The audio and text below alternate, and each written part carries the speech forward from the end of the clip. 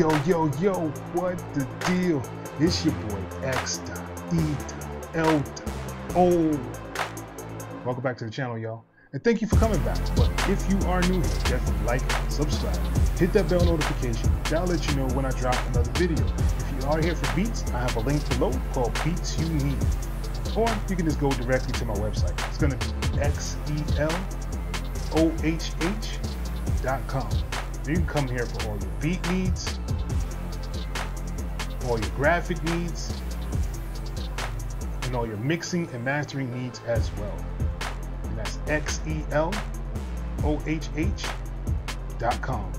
Hey man, welcome back to the channel. Glad you guys came back to see me. Thank you for all the support that I've been getting.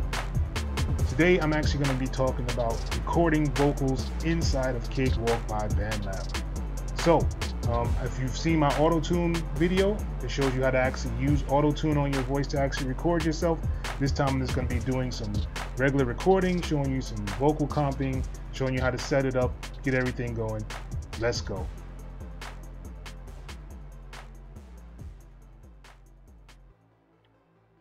All right, so here we are in Cakewalk, and this is my dark theme. If you do want this theme or my light theme, the link will be below in the description. If you don't know how to install themes, I have a video showing you how to install themes as well. But let's get into the video. All right, so we are in the regular uh, empty template. So basically, usually what artists will do they'll come to you and say, "Hey, I have this um, this beat that I downloaded from BeatStars or Airbit, wherever they got it from," and it's usually like a two track. And then basically, what you want to do is actually add that two track inside of Cakewalk. Cakewalk allows you just to kind of drag and drop. So if you have the WAV file, you can just drag it and drop it in here like so. So I just dragged it from my desktop into Cakewalk and it's just gonna pull up the actual video in here. I'm sorry, the actual audio into Cakewalk. So this is what it is. This is what it looks like. I'm gonna actually play it real quick so you can kind of hear it really quick.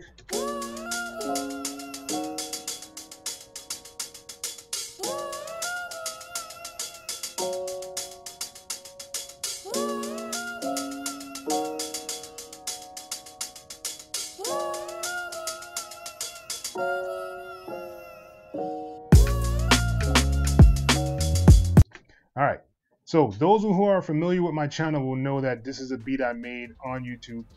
Um, I'll probably have it up above the uh, the link to actually how I made this actual beat. Um, and yeah, let's see if we can get everything set up here. All right. So first thing you want to do is make sure that you turn down the volume of the beat. Um, I know a lot of the people on uh, BeatStars and Airbit and stuff like that, they actually have the beats really loud. So you want to kind of turn it down. I usually like to go around negative 6 dB.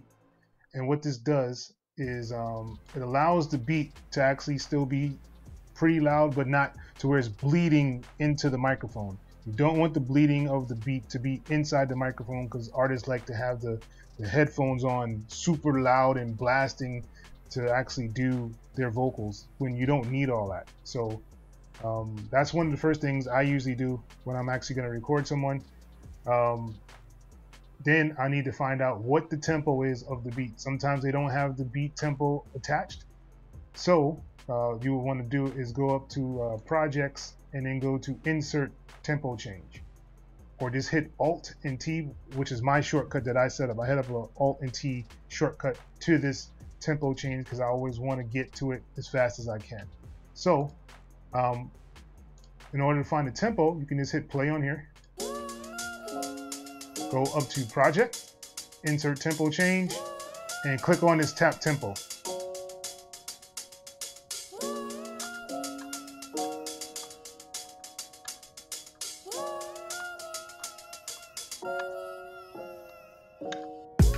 All right. So it seems like it's around like 102. Yeah, looks like, yep, 102. Yeah, pretty much lined up right there. All right, so you know that the tempo, or at least around the range of the tempo is like 100 to 102, somewhere around here. And that's good. So now we have the tempo set. Now we need to actually set up our, um, our mics. So uh, in order to do that, you want to actually hit the either the plus sign to add a track, or you can right click in this area and hit insert audio track, or you can hit control plus T in order to add an audio track. But I'm just going to hit on here, add the audio track, and um, let's name it really quickly. I'm just going to name it lead for now. All right, and I'm just gonna pull this little area down here so I can kind of see what's going on. And make sure you have it on all, so you'll see all the parameters of this actual thing. Usually it'll be set on custom and you won't be able to, I mean, you can still do what you need to do, but I like to see all so I can adjust different things if I need to adjust the volume or the gain or anything like that. All right, so right now it's going to the master as the output.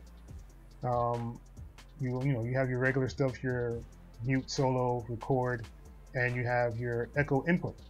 So we need to find out what side of the uh, recorder is it actually coming in on. I'm using the FL Studio ASIO driver and um, the lowest it actually goes is like 250. So the latency will be pretty high on this one. So let me turn on my mic and get stuff set up. All right, so now I have the mic set up. And if I hit on this echo, you should be able to hear it. All right. Now you see it's only coming out one side and it's coming with that delay of the echo. Um, if my uh, latency was better, you wouldn't actually hear that uh, echo. But seeing that I'm using the FL Studio Drive, it's it's to be that way. All right, so I can actually hit on record so I can see it coming in, I don't have to hear it, but I can see it.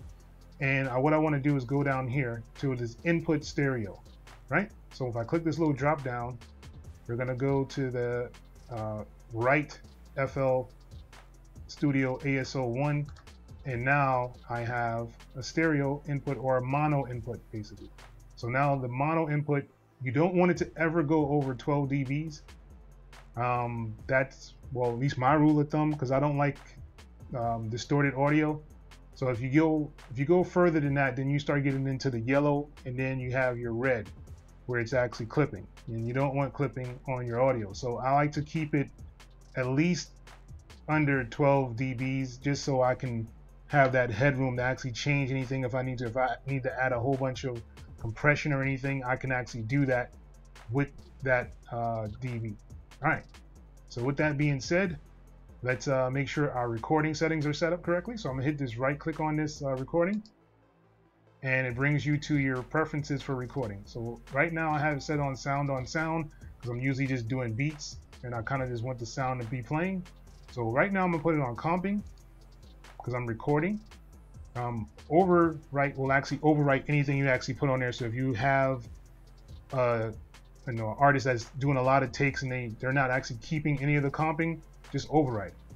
Um, sound on sound, like I said, will kind of just layer it on top of each other. Um, I usually just use it, like I said, for um, when I'm making beats. All right, so you can actually have an option to create a new lane and you have an option to um, reuse existing lanes. So if you had a lane there that didn't have anything on it, you can kind of still just overwrite it. Um, and the new takes will go on top. That's fine. Hit apply. Hit uh, close on here. And um, you want to make sure that this metronome is not on for your recording because uh, basically they'll hear the, the click of the metronome if they're recording with this on. So make sure you turn this off. And then you want to definitely go into your settings for your metronome. Um, I know I usually have mine's count in for one, so I'm to do the zero, and I'm to hit apply, and I'm to hit close. All right. So uh, what I'll do is actually do, um, I'm to duplicate these tracks, so I'll have a couple of them. So I'm to hit the uh, duplicate track here. All right, so I'm not gonna do too much, anything too fancy here, so I'm just gonna just have like these two. Let's rename them. Hook one. And let's do hook two. Right? Something simple, real easy to set up uh, real easy to go and actually do. All right, so let's actually start with the hook. So I'm gonna hit on this one, and the hook starts somewhere around here, these around the eight bars. So let's set our user somewhere around here. So I'll just click um, I have my smart tool selected, so I just kind of use the little eye icon and is clicked, and I have my bars set to snap at one half a note.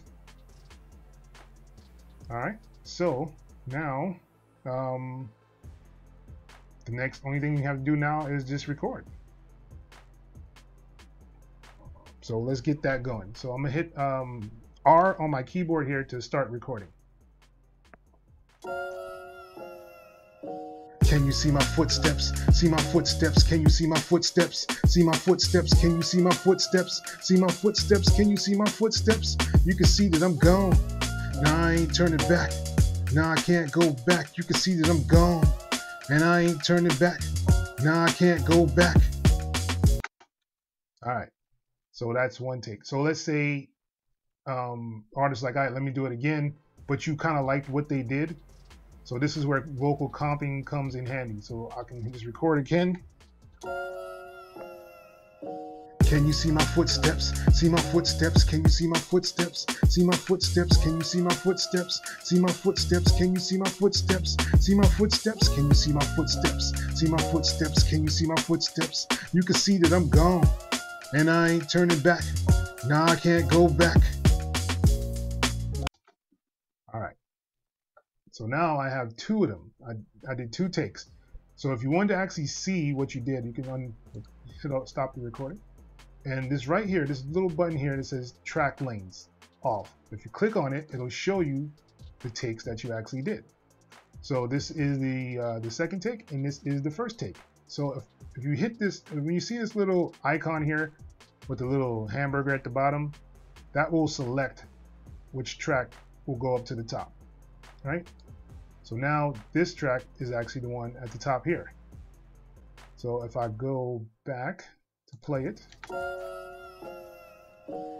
see my footsteps? See my footsteps? Can you see my footsteps? See my footsteps? Can you see my footsteps? See my footsteps? Can you see my footsteps? You can see this. Can you see my footsteps? See my footsteps? Can you see my footsteps? You can see that I'm gone. I ain't turning back. Now I can't go back. So as you hear, these are the two different takes. And um, let's say you just wanted pieces of it. So if you know, like, let's say this piece here, right? I wanted to um, have this piece go for sure, right? So I can click it like that, and boom, it'll make this piece go up here. Um, and the same can be done, but you have to make sure you're on this little line with the hamburger in order to actually kind of just cut it and bring it up like that. I mean, that's the easiest way to do it. I mean, there's other ways to do it. You can just cut them all up if you wanted to, and then choose which one you want to do after that. Um, and I believe there's a way to actually um, select them and then kind of go up and down. I don't believe, I don't remember if it's shift. I think it's shift. All right. So yeah, so basically this will give you a real quick option to kind of do comping if you do need to do it. I'm just gonna kind of control Z it out of here and I'll probably keep this uh, this take here. But the take lanes are there, and Ableton Live 11 just got this feature, and Cakewalk's had this feature for like seven years now.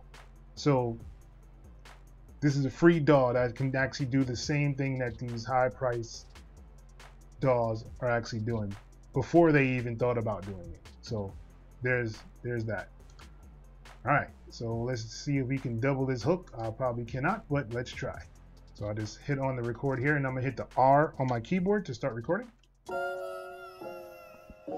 Can you see my footsteps? See my footsteps? Can you see my footsteps? See my footsteps? Can you see my footsteps? See my footsteps? Can you see my footsteps? See my footsteps? Can you see my footsteps? See my footsteps? Can you see my footsteps? You can see that I'm gone and I ain't turning back. Now I can't go back. All right. I think that was, that was actually pretty good. All right. So let's see if we can knock out this verse. All right. So the life of an artist. So I'm gonna try to do this this this take. Sometimes you need to give the artist some space to actually come in. So um, you can do like halfway there, and then actually start recording, and that way they can actually catch on to the beat, into the rhyme, into what they need to do. So I'm just to start it from here. I'm to hit the R on my keyboard to start recording. Can you see my footsteps? See my footsteps? Can you see my footsteps? You can see that I'm gone, and I ain't turning back. Now I can't go back. Yo, we bang bang boogie. That's what you heard. I've been patiently waiting like it's my turn. I got cats cutting the line and it's embarrassing. And I'm not having it, so they about to let a savage in. So to let you know it's not gonna be the same. I don't care what your name or what you claim. No doubt it's sexy. Yo, yeah, I'm taking over. My songs there for the weak is militant like a soldier. So stand in line. Salute the rap general. Yeah, you can hate, but you stay off my genitals. Sign up for the game, and nah, I don't stop. And I wonder what happens. I make it to the top. When I see these haters standing applaud, cause I know they'll pray for my downfall. And I got lyrics on deck, always ready to bust. And I left my competition, yeah, they way in the dust. Wow. All right, I didn't think I could do it, but I did it, and it actually came out probably okay. All right, so now what I can do with this is um, the good thing about actually having the tempo locked on here like it is, I can kind of just copy these and pull them over to uh, this side and actually have them start to hook again. So let's see if we can get that set up. So I'm gonna hold this. I'm gonna um, hold control. Now that I have my little, this arrow or the, the movement sign, I can hold down control and grab this and drag it across. And uh, it's probably gonna start there. I'm thinking it's gonna start there. Let's see. I got lyrics on deck, always ready to bust, and I left my competition. Yeah, they Can you see my dust. footsteps? See. All right, so it's a little off. So let's do here. Let's grab it and drag it over one.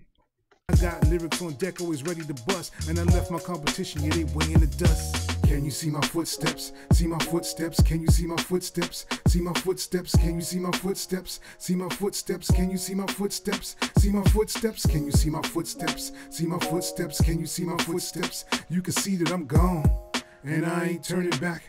Now I can't go back. All right, so we have just made a little song up in here.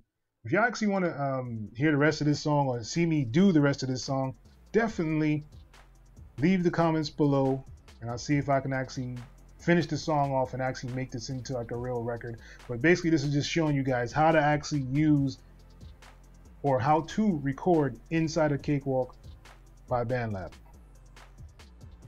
And we definitely want you guys to actually uh, stay tuned to the channel. Uh, make sure you like and subscribe if you actually watched it all the way to here. And definitely comment below. Um, like I said, if you guys want me to actually continue this song and actually make it onto like a you know SoundCloud or even um, put it up on my DistroKid. So I do have a link below for my DistroKid if you actually are an artist. Um, I have a 7% discount on there, so you guys can get that set up as well for your distro DistroKids to get on your Spotify's and all these other uh, platforms. All right, but I believe that's the end of this video. I don't think I have anything else to show you. And with that being said, Whoa, once again, it's your boy X.E.L.O. Till the next time, people. Peace. Yo, we bang bang boogie. That's what you heard. I've been patiently waiting like it's my turn. I got cats cutting the line and it's embarrassing. And I'm not having it, so they about to let a savage in. So to let you know it's not gonna be the same. I don't care what's your name or what you claim. No doubt it's sexy. Yo, yeah, I'm taking over. My songs there for the weak is militant like a soldier. So stand in line. Salute the rap general. Yeah, you can hate, but you stay off my genitals. Sign up for the game, and nah, I don't stop. And I wonder what happens. I make it to the top. Will I see these haters stand and applaud, cause I know they'll pray for my downfall. And I got lyrics on deck, always ready to bust. And I left my competition, yeah, they way in the dust. Can you see my footsteps? See my footsteps? Can you see my footsteps? See my footsteps? Can you see my footsteps? See my footsteps? Can you see my footsteps? See my footsteps? Can you see my footsteps? See my footsteps? Can you see my footsteps? You can see that I'm gone, and I ain't turning back. Now I can't go back.